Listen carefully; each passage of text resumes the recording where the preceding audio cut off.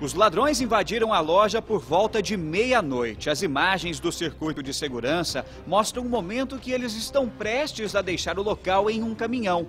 O veículo é da própria empresa, segundo informou o gerente à nossa produção.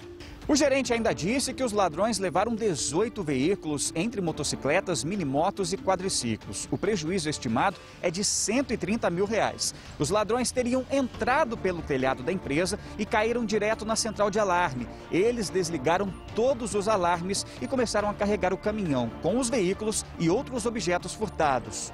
Pelo menos três suspeitos estão envolvidos no crime. Eles fugiram sentido Paraisópolis. A Polícia Civil segue nas investigações.